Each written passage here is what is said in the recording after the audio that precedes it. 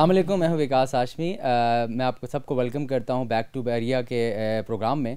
और आ, मेरा सेशन जो था मैं 2010 टू 14 में मैंने एमबीए क्लियर किया है बहरिया से। और आ, इसके साथ साथ मैं इस टाइम फ़ूड पांडा में as a senior manager business development Rawalpindi हूँ। और मेरे साथ इस टाइम दो गेस्ट हैं आ, हमारे बहुत सीनियर और बड़े मोज़ गेस्ट हैं उस्मान भाई और शराज मंजूर आ, ये भी हमारे साथ बहरियन ही हैं और इनका जो उस्मान भाई का जो सेशन है अगर मैं गलत ना कहूँ तो 2006 से 12 मेरे ख्याल से आपने छः साल आपने माशाल्लाह यहाँ पे गुजारे हैं। शराज भाई इन्होंने 2008 टू 10 फोर इयर्स आपने माशाल्लाह यहाँ पे गुजारे हैं।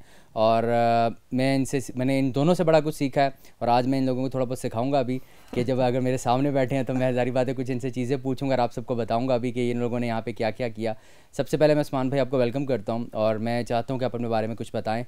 Thank you so much Vikas बहुत अच्छा लग रहा है। आज तकरीबन 10 साल के बाद बहरी यूनिवर्सिटी आने आते हुए वो फीलिंग्स हैं वो इमोशंस हैं जो शायद मैं अभी एक्सप्रेस नहीं कर पा रहा। और जैसे ही मैं बहरी यूनिवर्सिटी में इंटर हुआ वो सारी यादें जो सिक्योरिटी गार्ड से ले लेके जो फ़िल्में हम लोगों पे डालते होते थे आज वो सारी की सारी रिवाइव हो गई हैं।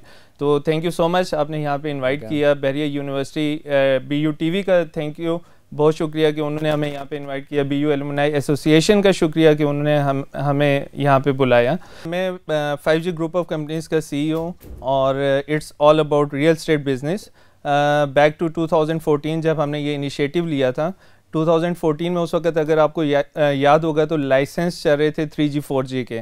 तो वही बैक एंड पे माइंड में नाम था कि 5G इंशाल्लाह फ्यूचर में बहुत अच्छा हमें रिटर्न देगा लोगों के नाम पे ये हर बंदे के नाम पे हो ज़ुबान पे होगा। खैर वहाँ पे जब हमने स्टार्ट लिया अल्हम्दुलिल्लाह it was a single one man show और स्टार्ट में जस्ट मैं था मेरा ऑफ़िस बॉय था और अल्हम्दुलिल्लाह विद टाइम उस वक्त एज एन चीफ एग्जेक्टिव भी आप थे एचआर मैनेजर भी आप थे फाइनेंस मैनेजर भी आप थे मार्केटिंग मैनेजर भी आप थे।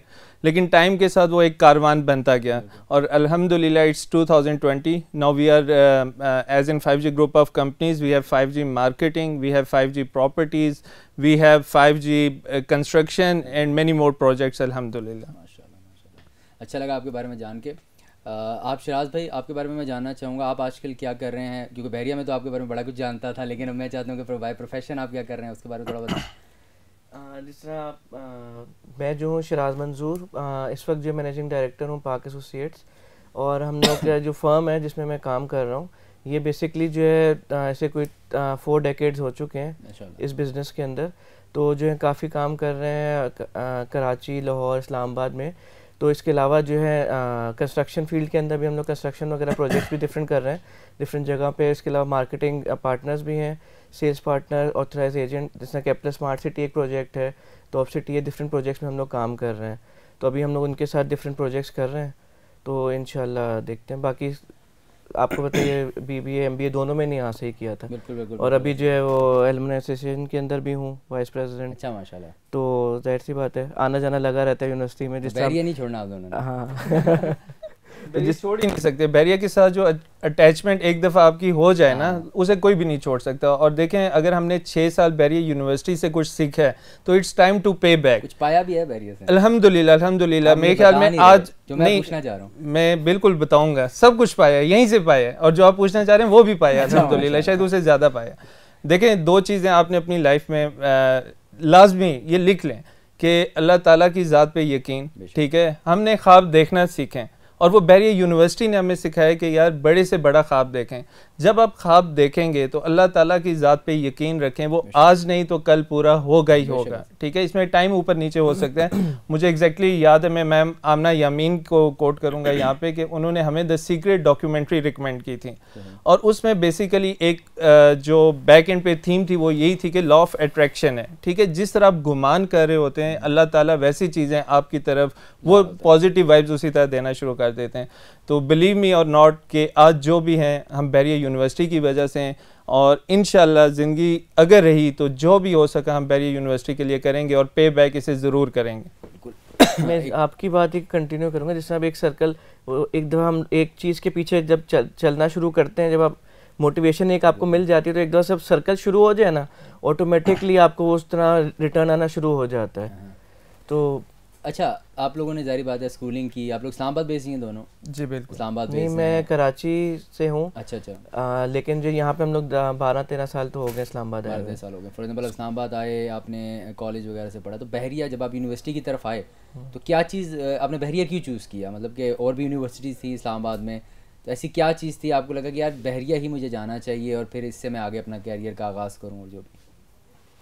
इसमें जिस तरह मैंने अब जिस तरह बहरिया जब चूज़ किया तो जब मैं इधर आया था मैंने यहाँ से ए लेवल्स जब किया बीकन से किया था उसके बाद जो मेरा जो था एम क्योंकि जैसे माइंड में एक चीज़ चल रही होती है ना फैमिली बिज़नेस या जो भी चल रहा था तो जिस तरह प्रॉपर्टी से रिलेटेड कंस्ट्रक्शन से मैं चाह रहा था उसको एक्सपेंड किया जाए। उसे कैसे एक्सपेंड कर सकते हैं जब आप मार्केटिंग फ़ील्ड में हो? उसको आप किस तरह मार्केट को एक किसी एक प्रोडक्ट को जब मार्केट करना है तो आपको पता होना चाहिए उसकी पैकेजिंग कैसे होगी किस तरह उसको आप मार्केट में थ्रो करोगे क्या करो तो वो करने के लिए आपको मार्केटिंग चाहिए। तो उसके लिए फिर बिज़नेस स्कूल्स देखे तो डिफरेंट स्कूल्स देखे तो उसमें जो है एन बी एस अभी बना है नस्ट लेकिन उससे पहले जो है मेरे हिसाब से लोगों को नहीं इतना अच्छा लगता लेकिन मेरे हिसाब से Bahria is a very good business school तो अभी भी नाम बहरिया का बिज़नेस स्कूल की वजह से ही है। तो मैं तो मुझे मैंने तो काफ़ी चीज़ें सीखी हैं यहाँ से। तो इसलिए मैंने चूज़ किया था बहरिया। खैर मैं बिल्कुल इसके ऑपोजिट था।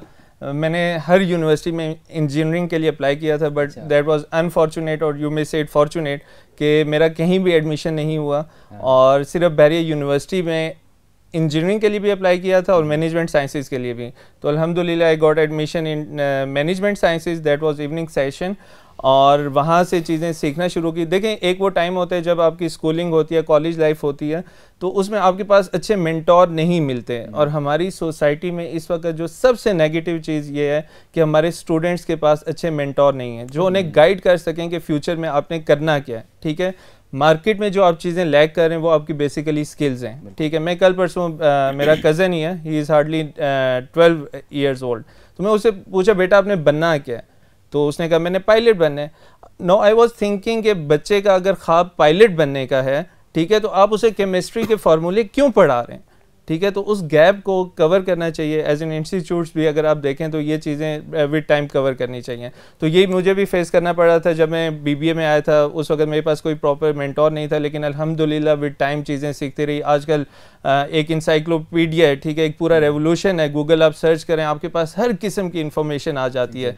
तो वहाँ से अल्हम्दुलिल्लाह मैं तो ये समझता हूँ कि मेरा मेंटोर गूगल था जिस जो मुझे विद टाइम गाइड करता रहा। अभी ये करना चाहिए ये करना चाहिए स्किल्स इन्हांस करता रहा और अल्हम्दुलिल्लाह टुडे व्हाट आई एम यहाँ तक पहुँचने के लिए गूगल की उसमें बहुत ज़्यादा सपोर्ट मैं भी आपको जारी बात है आप लोग शेयर कर रहे हैं तो मेरा भी जज्बात जाग गए मैंने कहा मैं भी शेयर कर दूँ। मैंने अप्लाई ही बैरिया के लिए किया था। मतलब जितनी यूनिवर्सिटीज़ थी। मेरा एक एम होता है कि मतलब मैंने जो काम करना है मैं कोशिश करता हूँ आप वाली बात कि आप कोशिश करें अल्लाह पाक उस पर पूरा करता है। तो मैंने टेस्ट ही बहरिया का दिया था और मुझे पता है मैंने टेस्ट किया था आँखें बंद करके। और अल्हम्दुलिल्लाह मेरा एडमिशन हुआ। और मुझे बहुत अच्छे टीचर्स मिले। मैं आज तक उनका रिगार्ड करता हूँ। कई टीचर से मेरा अभी तक इन टच हूँ। मैं बात करता हूँ मशवरे भी करता हूँ जिसमें मैं नाम लेना चाहूँगा सर शाहिद हक हैं सर अली थे अली सवाती वो इस टाइम नस्ट में होते हैं। सर काशिर असगर थे मतलब ये सब ऐसे टीचर हैं जो कि अभी तक मैं उनसे इन टच हूँ और वो मुझे काफ़ी अच्छा उन्होंने गाइड करते भी हैं और करते रहते हैं। सेकंड मैं आप लोगों की तरफ़ अगले सवाल की तरफ़ आना चाहूँगा वो ये कि बहरिया यूनिवर्सिटी तब कैसा था और आपको कैसा एक्सपीरियंस हुआ? क्योंकि आप एक माइंड बना के आए होंगे बहरिया में कि यार मैं बहरिया जा रहा हूँ पढ़ने। एक्साइटमेंट होती है एक। आ, तो जब आप एंटर हुए तो क्या एक्साइटमेंट थी? आपने कैसे पाया और क्या एक्सपीरियंसेस आपके साथ हुए बहरिया में? देखें कॉलेज लाइफ के बाद एकदम में बिल्कुल शिफ्ट हो जाता है। अगर आप देखेंगे बेरी यूनिवर्सिटी जैसे आप आए होंगे तो एक बिल्कुल डिफरेंट इन्वायरमेंट था, ठीक है? आपका यहाँ पे कॉलेज लाइफ में सारी उम्र आपने यूनिफॉर्म पहना हुआ होता है टाइमिंग आपकी ये होती है सुबह तकरीबन आप आठ नौ बजे जाएँगे और वापसी आपकी एक दो बजे होनी थी सारी चीज़ें। लेकिन यूनिवर्सिटी में बिल्कुल डिफरेंट इन्वायरमेंट था। जैसे आप यूनिवर्सिटी में जब मर्ज़ी आप आएँ क्लासेज अटेंड करनी है, नहीं करनी है, हर बंदे का यही एक्सपीरियंस है मेरे ख्याल में। यूनिवर्सिटी बहुत ज़्यादा फ्लेक्सिबल होती है। लेकिन यही है कि उसमें आपकी स्किल्स डेवलपमेंट आपकी जो कॉन्फिडेंस आपको यूनिवर्सिटी में मिलता है शायद वो आपको कहीं से नहीं मिल सकता। टीचर्स का बहुत टीचर्स का बहुत ज़्यादा रोल है नो डाउट लेकिन टीचर्स हैं तो तभी हम आज यहाँ पे बैठ के ये बात कर मैं आज आपके सामने आपकी बात से करूँ। अली सवाती सर थे इंग्लिश उन्होंने हमें पढ़ाई थी। अ, मैं जिस तरह भी आप लोगों को इंटरव्यू कर रहा हूँ मैं स्टेज पे खड़ा नहीं हो सकता था। वो जान के खड़ा करते थे कहते भाई तू बोल। हम्म, जितना बोल सकता है बोलो। लोग हँसते थे। कहते नहीं हंसना नहीं है। किसी ने भी किसी पे नहीं हंसना। और जब बोल बोल के बोल बोल के ऐसा उन्होंने कॉन्फिडेंस दिया कि आज हम लोगों को बुलवाते हैं कि यार हम बिल्कुल बात करें। बिल्कुल टीचर्स का बहुत बड़ा हाथ होता है इसमें। बिल्कुल शिराज आप क्या कहते हैं इस बारे में नहीं बिल्कुल सही कह रहे हैं आप। जिस तरह अब आपने पूछे कि कैसे इन्वायरमेंट था जैसे मैं इंजीनियरिंग बैकग्राउंड से आया था तो इसमें सेटल होने में टाइम तो लगता है। शुरू में तो जैसे टफ़ लगा था लेकिन उसके आहिस्ता आहिस्ता टीचर्स रिलैक्स करते गए हम उसमें जेल होते गए सारे सिस्टम के अंदर। तो ज़ाहिर सी बात है ऐसे बंदा सीखता रहता है उससे ही प्रेजेंटेशन स्किल्स आती हैं बोलना का तरीका आता है। कि किस तरह लोगों के क्योंकि बेसिकली हमारा काम तो यही है ना business to business client to client तो अगर हम उसको नहीं सेट कर पाएँगे तो ज़ाहिर सी बात नहीं सीख सकेंगे। आपकी तो काफ़ी अच्छे एक्सपीरियंसेस होंगे मैं तो आपको जानता हूँ पर्सनली मतलब मतलब स्क्रिप्टेड जवाब नहीं देना मुझे अपने सही जवाब देना मुझे जानते हैं। मैं चाह रहा हूँ थोड़ा मज़े का थोड़ा इंटरव्यू हो लोग जाने शराज भाई थे अभी किस तरह माशाल्लाह अच्छी पर्सनालिटी इनकी। लेकिन बहुत एक्टिव थे इवेंट्स में मीडिया क्लब बनाने वाले बहरी यूनिवर्सिटी में ये थे मुझे इवेंट्स में लाने वाले ये थे। मुझे कॉन्फिडेंस दिलाने हाँ, वाले तो भी ये थे। यही कहना चाह रहे हो गलत कामों की तरफ़ लेके तो, आने मतलब मैंने जो कुछ सीखा थोड़ा बहुत इनसे काफ़ी कुछ सीखा है मैंने। तो आप वो बताना नहीं चाह रहे वो और बात है। हाँ। अगले सवाल की तरफ़ आता हूँ क्योंकि जारी बात है आप आज भी बहरिया यूनिवर्सिटी एंटर हुए हैं। आपने देखा एक इन्वायरमेंट देखा काफ़ी चेंजेस आ गई। तब बहरिया कैसा था और अब कैसा है? क्या चीज़ आप डिफरेंस पाते हैं इसमें? देखें इन्वायरमेंट की जब बात की, जिसे हमने पहले बात की, अभी तो काफ़ी एक्सपेंशन हो चुकी है। अभी मैं मैम से डिस्कस कर रहा था कि जब हम 2006 में आए थे तो राउंड अबाउट 2000 टू 3000 स्टूडेंट्स थे। आज 8000 प्लस स्टूडेंट्स यहाँ पे हो चुके हैं। लेकिन अगर मेरे से अगर आप पूछें तो जो रिकमेंडेशन है कि यूनिवर्सिटीज़ में इनटेक को आपने लाजमी कंसिडर करना है। आजकल इशू क्या आ रहा है कि आपने बच्चों को डिग्रीज तो देते जा रहे हैं इंस्टीट्यूट डिग्रीज तो देते जा रहे हैं। अभी एच e के मुताबिक 18,000 इंजीनियर आप पर ईयर प्रोड्यूस कर रहे हैं जिनमें से जॉब्स के लिए मेरे ख्याल में hardly four to five thousand jobs available हैं ठीक है? उस चीज़ को ख़त्म करने के लिए इंस्टीट्यूट्स को चाहिए कि इस तरह की अपॉर्चुनिटीज़ वगैरह क्रिएट करें ताकि जितनी भी वो इनटेक है वो फ्यूचर में अच्छी से अच्छी जगहों पर जाके सेटल हों।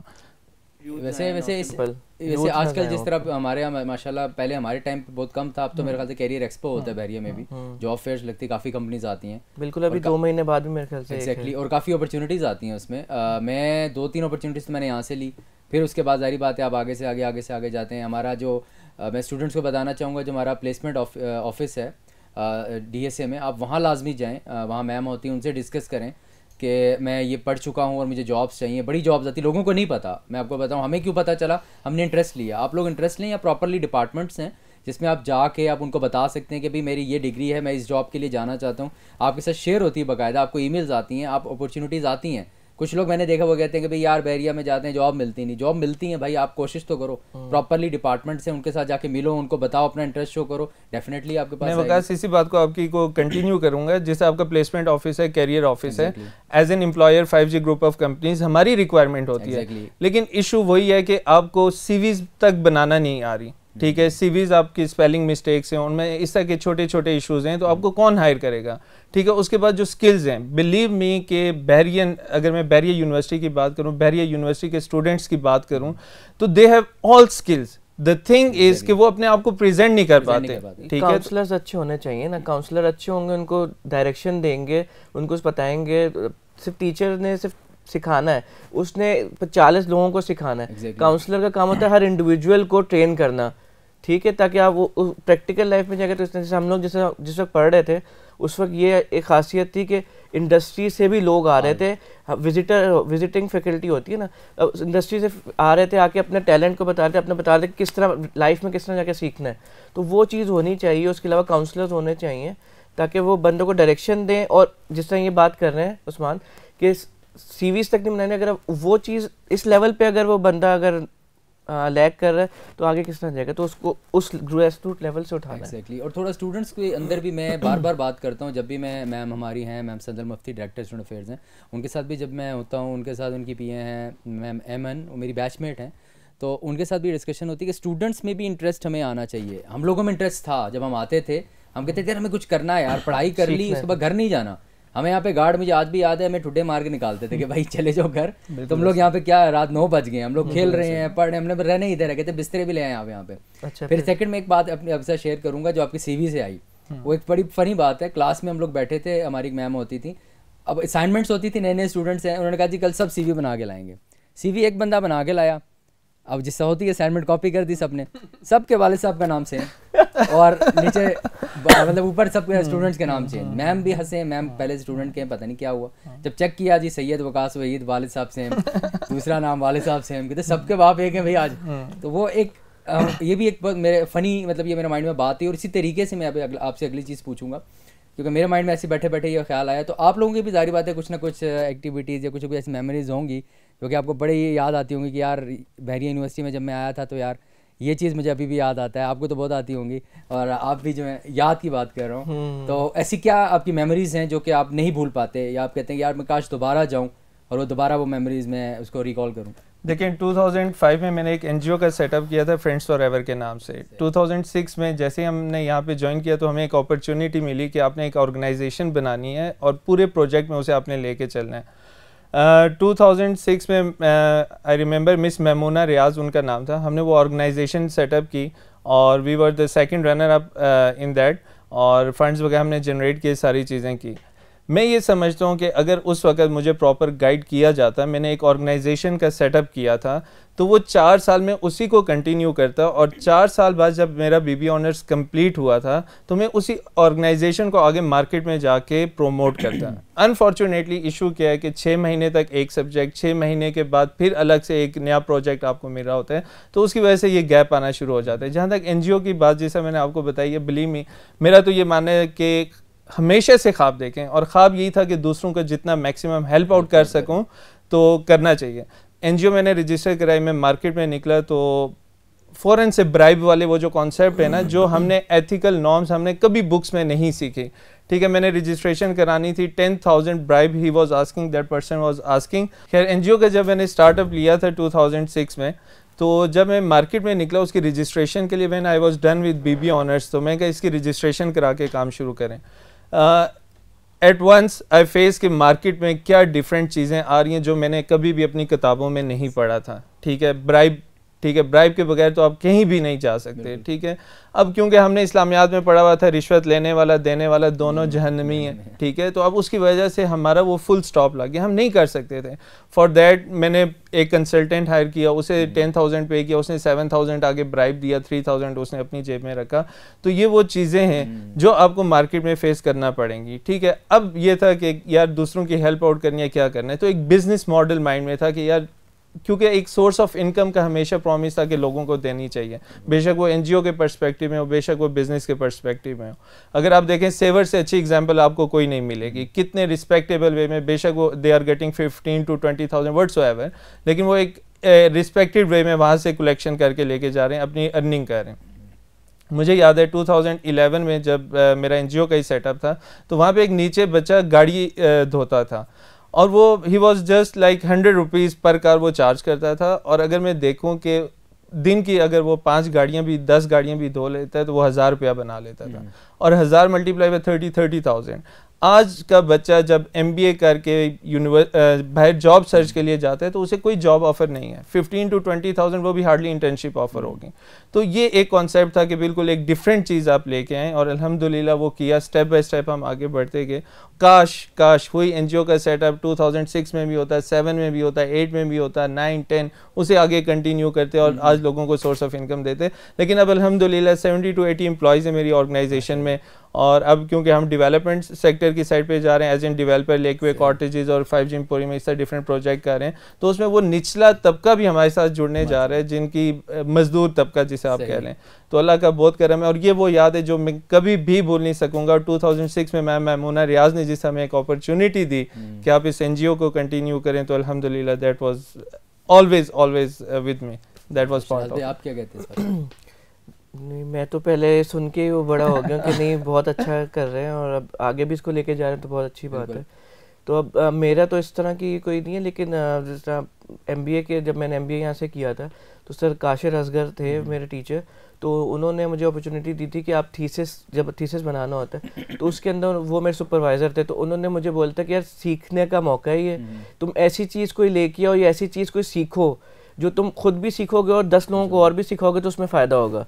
तो वरना कॉपी पेस्ट तो हर कोई कर लेता है प्लेजरिज्म से भी बच जाता है हम्म। सब कुछ हो जाता है लेकिन तुम अपने लिए कुछ ऐसा करो कि तुम सीखो तो उसके लिए फिर हमने वो गेमिंग एक था हम्म। कि बिज़नेस के अंदर किस तरह हम गेमिंग को इम्पुट कर सकते हैं और उसमें से किस तरह लोग सीख सकते हैं ठीक है तो उसके लिए हम लोग जो है मैं टीम थी हमारे तीन लोग थे हम लोग ग्रुप में तो उसके लिए हम लोग आईबीए भी गए थे कराची हम्म। वहाँ जाके हमने इंटरव्यूज़ लिए टीचर्स से और उनका पूरा देखा कि किस तरह वो दोनों चीज़ों को किस तरह जोड़ रहे हैं और उससे किस तरह लोग सीख रहे हैं। बिज़नेस को किस तरह आगे लेके जा सकते हैं और क्या क्या चीज़ें जिस तरह सिन सिटी है वो भी एक गेम है जिस तरह सिटी पूरा बनाना उसमें क्या रिक्वायरमेंट्स होती हैं सर इस तरह किस तरह आप उस बिज़नेस के अंदर किस तरह उसको इनपुट कर सकते हैं। फिर आईबीए गए जी की गए थे हम लोग फिर नस्ट इधर किया था फिर लाहौर लम्स गए थे।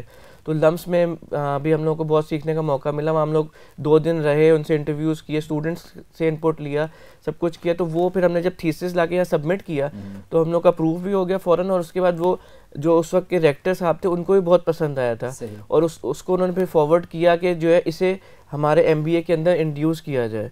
किस तरह लेके आए और क्या किया सारे उसके ऊपर काम हुआ था फिर। तो वो एक मेरी अच्छी मेमोरी कि हाँ मुझे एक वो सीखने का मौका मिला और इस तरह मैंने किया। इसी के साथ हम एक ब्रेक की तरफ़ चलते हैं और ब्रेक के बाद वापस आते हैं। Thank you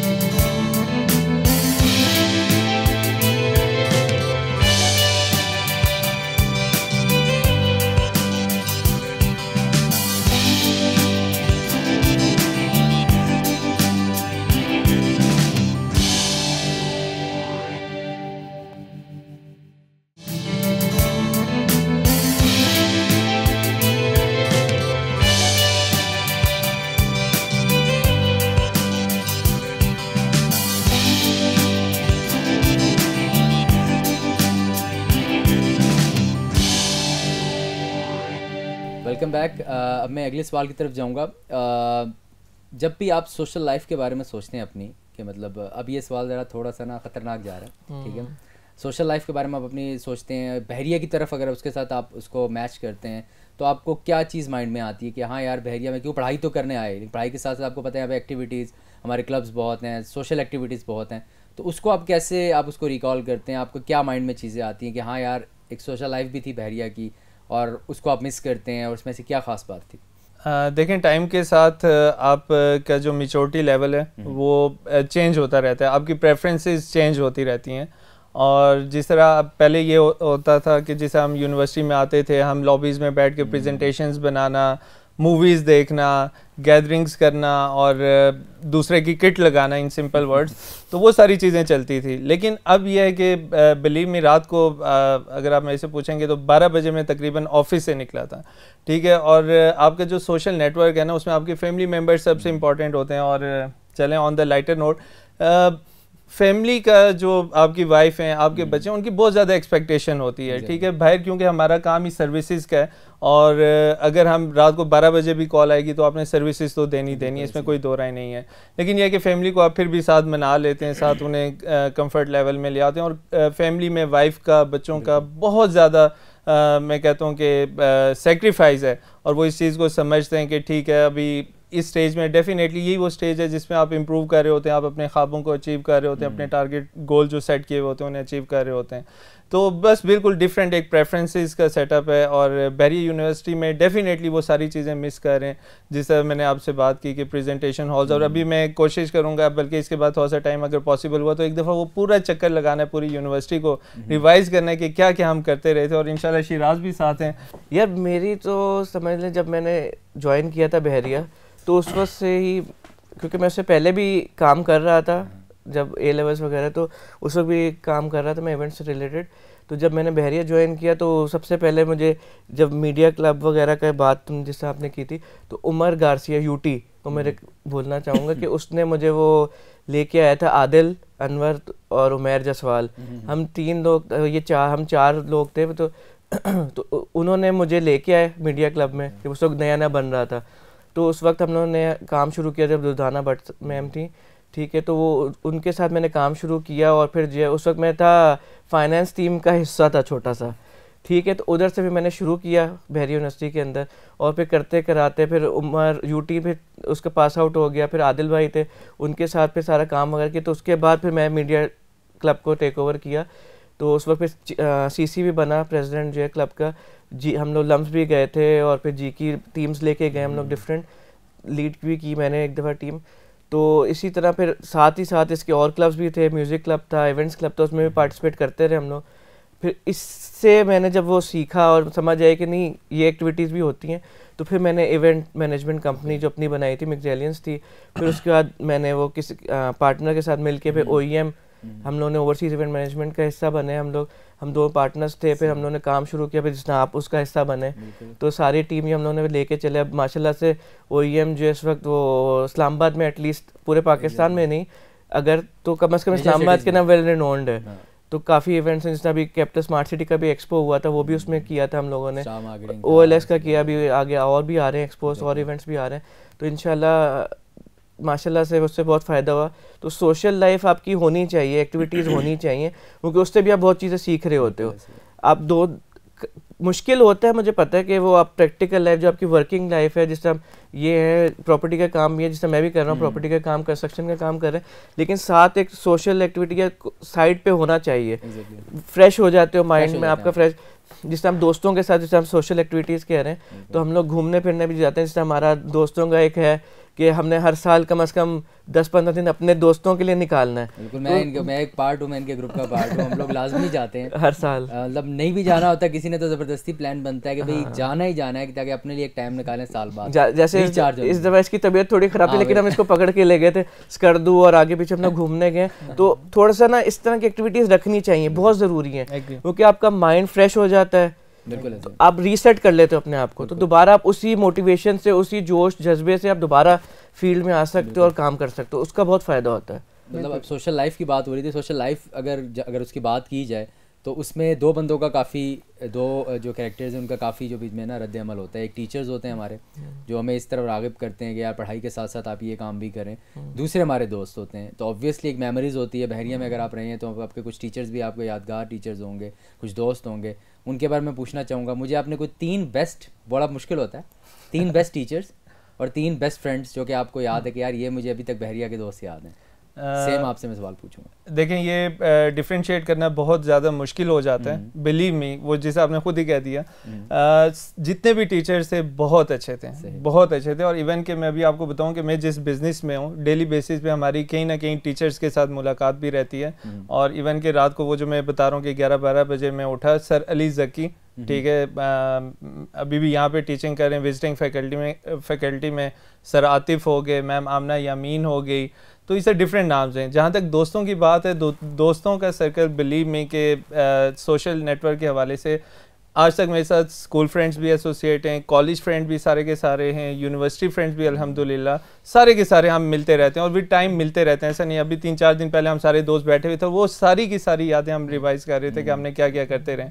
तो उसमें हनीफुल्ला हो गया मेरा बेस्ट फ्रेंड था उमर हो गया he is now in Germany और हनीफुल्ला नुमान हो गया नुमान लतीफ़ हो गया Danish Farooq Ammar Dada name it every one was a unique different personality हर बंदे का एक यूनिक सेलिंग पॉइंट था। तो every one was very different तो हर बंदे की एक ना एक चीज़ आपको याद रहती है। शायद आप क्या कहेंगे? यार टीचर्स और दोस्तों में आप डिफ्रेंशिएट किस तरह करेंगे कि आप कि तीन किस तरह कर सकते हैं? क्योंकि अब मैंने चार साल बीबीए के लगाए हैं डेढ़ साल मैंने एमबीए का लगाया है। हाँ। इतना टाइम दिया इसके अलावा भी इतनी देर रहे हैं। तो आप कितने लोग आपकी लाइफ से गुजरते हैं जिन्होंने इम्पेक्ट किया है सब कुछ किया तो आप नाम नहीं ले सकते इस तरह। दोस्तों का तो मैं स्पेशली नहीं लूँगा क्योंकि जो बहुत ज़्यादा है हाँ। सोशल नेटवर्क बहुत बड़ा है माशाल्लाह मान जाऊँगा हाँ तो वही कह रहा हूँ ना इसलिए मैं किसी स्पेसिफिक दोस्त का नहीं हाँ। लूँगा तो ताकि कोई बुरा ना मान जाए। ठीक है तो बाकी टीचर्स के अंदर तो टीचर्स भी काफ़ी रहे हैं जैसे सर काशिर असगर का मैंने भी हम्म। बताया मैं मामना यामीन से पढ़ाऊँ हूँ वो तो टीचिंग के बाद भी उसके बाद भी हम मिलते रहे हैं काफ़ी हुआ है तो जो है मत उनके साथ भी था सीखा है बहुत मैम सादियाँ हैं मैम जो है आपकी आ, सर मंजूर अवान है सर शाहिद हक है बहुत टीचर्स हैं जिनसे सीखा है बहुत सीखने को मौका मिला है। तो काफ़ी टीचर्स हैं हम किसी स्पेसिफिक नाम तो नहीं ले सकते इसलिए। और दोस्त तो आप दोस्त तो मैं किसी का लूँगा नहीं एक तो तुम ही बैठे का तो ले हाँ चलो वकास आप बैठे हो माशाल्लाह साहब। आप दोस्तों का नाम नहीं ले रहे ना। हाँ तो आप देखो ना दस साल हो गए दस ग्यारह साल हो गए हमें कम अज कम। दोस्त हुए हुए। दोस्त क्या हम लोग तो बिज़नेस भी हमने काम भी साथ जान के सवाल डाला था सोशल लाइफ से मैं किसी पॉइंट पे पहुंचूं लेकिन आप लोग नहीं पहुँच रहे। जारी बातें बड़े हैं मैं आप लोगों को नहीं पहुँचा सकता। जारी बात है जब आप सोशल लाइफ की मैं बात करूँ आपने यहाँ पे आए अपने स्टडी की सोशल लाइफ आपने यहाँ पे गुजारा डिग्री हुई माशाल्लाह फिर आप प्रैक्टिकल लाइफ में गए प्रोफेशनल लाइफ में गए तो आपको क्या ऐसी रियलिटीज़ आपको फेस करना पड़ी जो कि आप शेयर करना चाहेंगे हमारे स्टूडेंट्स के साथ? कि एक बंदा आता है स्टूडेंट में एक बड़ी यूनिवर्सिटी में एक बंदा आता है और वो आके एक बड़ी वो मेहनत के साथ पढ़ता है और अपना एक प्लान करके आता है कि मैं आगे क्या बनना चाहूँगा। तो आप क्या आपको कुछ एक्सपीरियंसेस फेस हुए होंगे मार्केट में? तो आप कुछ शेयर करना चाहेंगे रियलिटी क्या है आजकल मार्केट की? इसमें जो सबसे इम्पोर्टेंट चीज़ है जिससे हम आप जॉब्स वगैरह इसकी बात करें जब मैंने 2011 12 में जब मेरा पास आउट हुआ था बी बी ऑनर्स कंप्लीट किया था उससे पहले भी क्योंकि नेटवर्क था दोस्त वगैरह थे तो जो है वो यही चाहते थे यार जॉब्स अच्छी जगह लग जाएँ ये वो। तो उस वक्त मैंने एक वो पेज शुरू किया ग्रुप शुरू किया था इंटर्नशिप एंड जॉब्स के नाम से। तो अभी उसको छः सात आठ साल हो गए अब तो। तो जो है वो हम पाँच छः दोस्त थे उधर से मैंने शुरू किया था। तो उसके बाद जो अब माशाल्लाह से वो डेढ़ लाख उसमें लोग मेंबर्स हो चुके हैं जिसमें काफ़ी कंपनीज़ के एम्प्लॉयर्स हैं एम्प्लॉयज़ हैं जिनको जॉब चाहिए और काफ़ी लोगों ने उधर से वो जॉब्स भी ली हैं। ठीक है तो अब मार्केट बहुत आ, इस वक्त जो है ना मार्केट बहुत ज़्यादा जो है ना वो टाइट हो चुकी है। जॉब्स कम है जिस तरह इन्होंने बताया कि अट्ठारह हज़ार इंजीनियर्स ही पास आउट हो रहे हैं। तो ज़ाहिर से इतने पास आउट होने लेकिन इतनी जॉब्स नहीं आ रही हैं क्योंकि इंडस्ट्री आपकी बहुत कम बंद हो गई हैं। पिछले दिन और में भी इसमें भी काफ़ी हुई हैं। तो अब टफ हो गई लाइफ लेकिन जो है आप हिम्मत नहीं हारनी सिंपल इन शॉर्ट वर्ड्स हिम्मत नहीं हारनी है अपने काम करते रहना कोशिश करते रहना जिस तरह आप लगे रहोगे ना आपको अपॉर्चुनिटी मिलेगी क्योंकि अगर आपके अंदर टैलेंट है ना आपके अंदर हिम्मत है मोटिवेशन है आप कहीं ना कहीं सक्सेसफुल हो ही जाओगे कभी ना कभी होगे।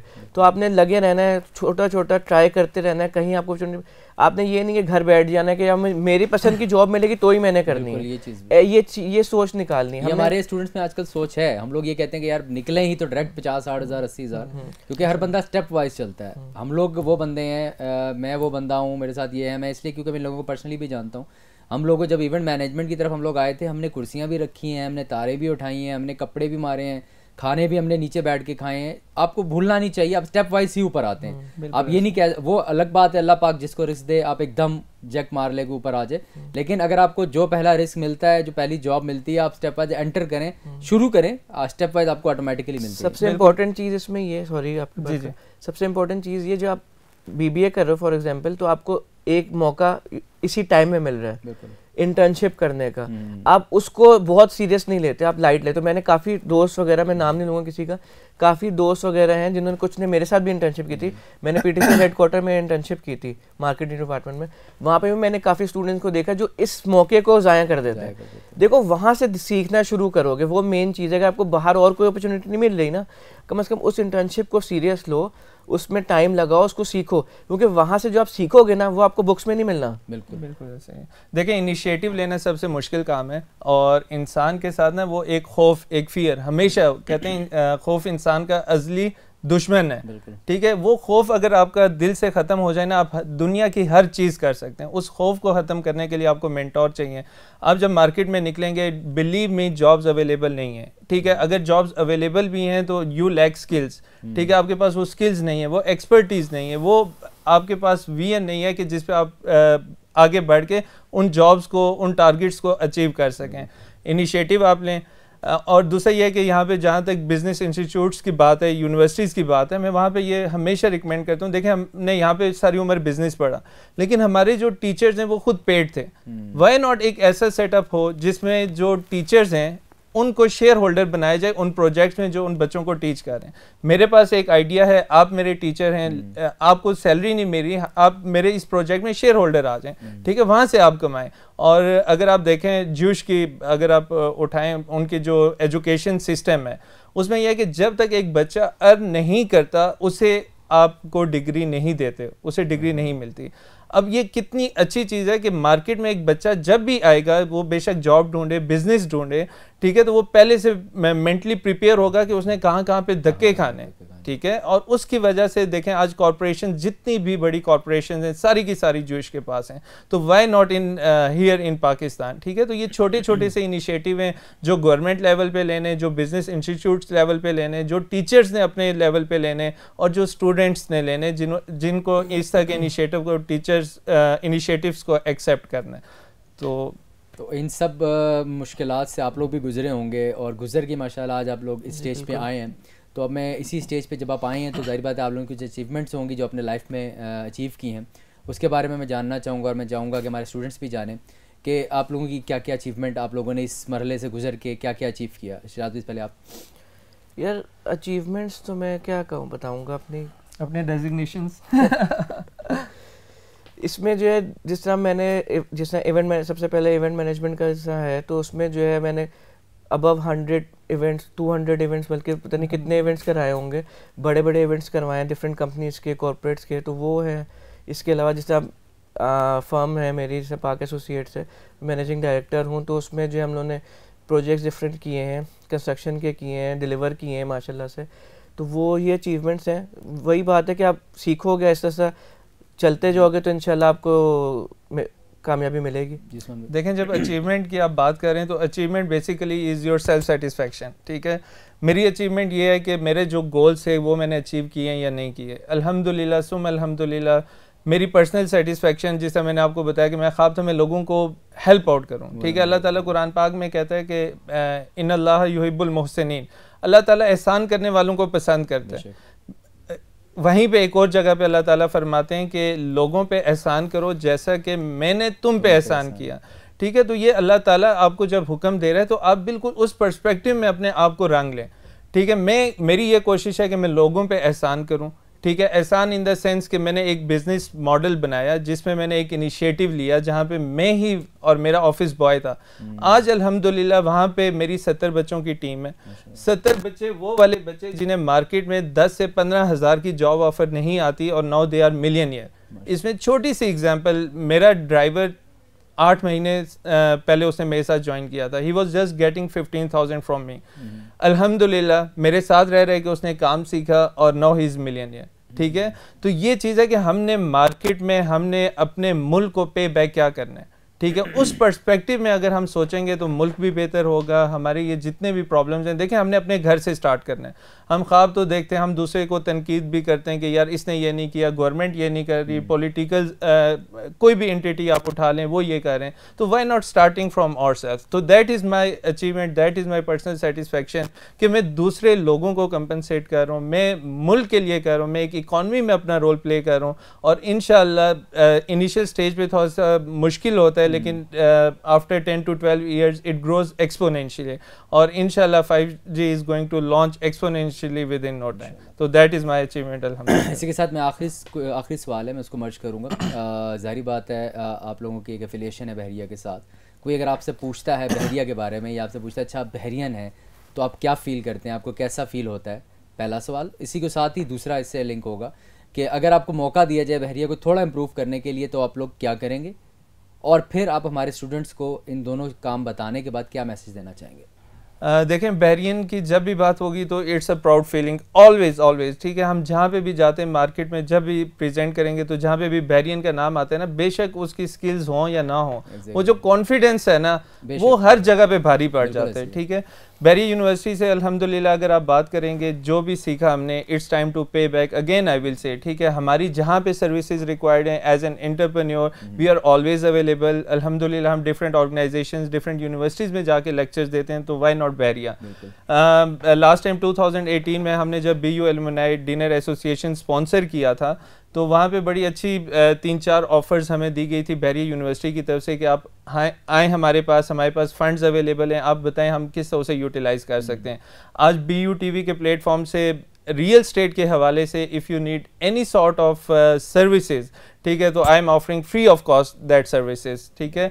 और जहाँ तक बात है कि as an employer B U को क्या रिकमेंड करेंगे तो uh, देखें वो जो बिज़नेस मॉडल जिसकी मैंने पहले भी बात की है कि जो भी बिज़नेस इंस्टीट्यूट है ठीक है वहाँ पे सैलरीज का कॉन्सेप्ट ख़त्म होना चाहिए। वहाँ पे जितने टीचर्स हैं वो पेड नहीं होने चाहिए।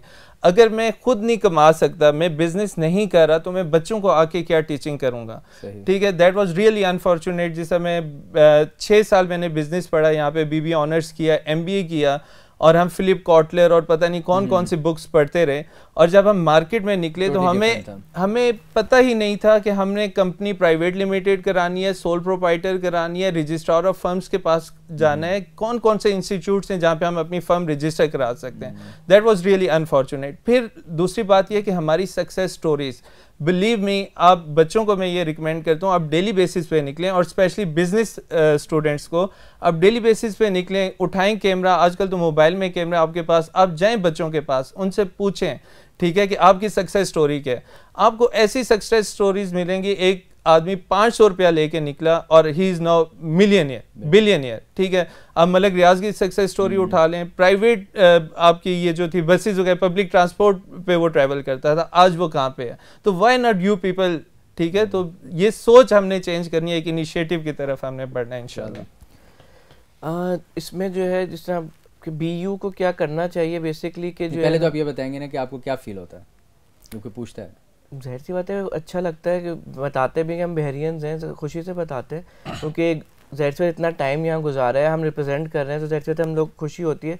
मैं तो हिस्सा भी हूँ एलिमिनाइजेशन का इसीलिए ही हूँ कि जो है वो ज़ाहिर सी मुझे प्राउड फीलिंग आती है और नहीं मैं करता छोड़ने को। दिल नहीं करता की बात नहीं है कि मुझे होता है कि यार मैंने इतनी देर यहाँ से कुछ लिया है तो आ, अब कुछ मुझे अब वापस करना है। तो मैं उसकी कोशिश में साथ लगा हुआ हूँ हम डिफरेंट एक्टिविटीज़ भी कराते हैं जैसे इफ्तार डिनर है ये भी किया है इसके अलावा जो है और ट्रेल पे जाते हैं सी एस आर एक्टिविटीज़ हैं। इसके अलावा और इवेंट्स वगैरह करते हैं ब्रांड प्रमोट करने के लिए बहरिया का।